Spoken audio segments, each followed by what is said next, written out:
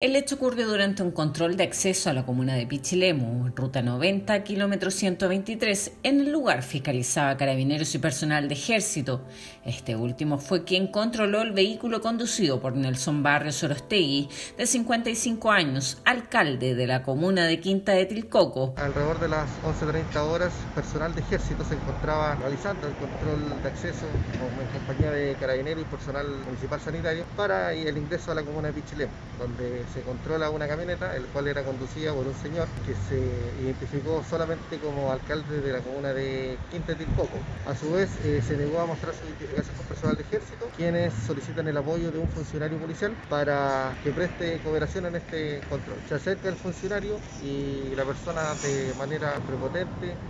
y disgustada, se retira del lugar pasando a llevar al funcionario policial, el cual mantiene una lesión en su pierna derecha de carácter menos grave. Tras darse a la fuga, carabineros de servicio y la población lograron fiscalizarlo en Avenida Cahuil con Avenida La Concepción, procediendo a su detención, que también mantuvo gran tensión por la actitud del edil. Eh, a raíz de este procedimiento se inició el encargo de este vehículo y se controló posteriormente a pocos minutos en el sector de Avenida Caguas con la Concepción, de la comuna de Pichilemu, donde personal policial procede a su control,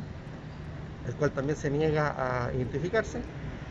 y los funcionarios le, manifiestan que tienen que controlarse porque anteriormente había tenido una, situación particular con un funcionario. Eh, la, persona se ofusca, trata de nuevamente iniciar la marcha, Carabinero intercede para sacarle la llave del, del vehículo y el cinturón de seguridad donde la persona eh, nuevamente hace fuerza con el funcionario, donde resulta un segundo funcionario con lesiones de, mediana gravedad. El fiscal de turno instruyó que el detenido por cuasi delito de lesiones leves, ocultación de identidad y maltrato de obra a carabinero de servicio pasará a control de detención.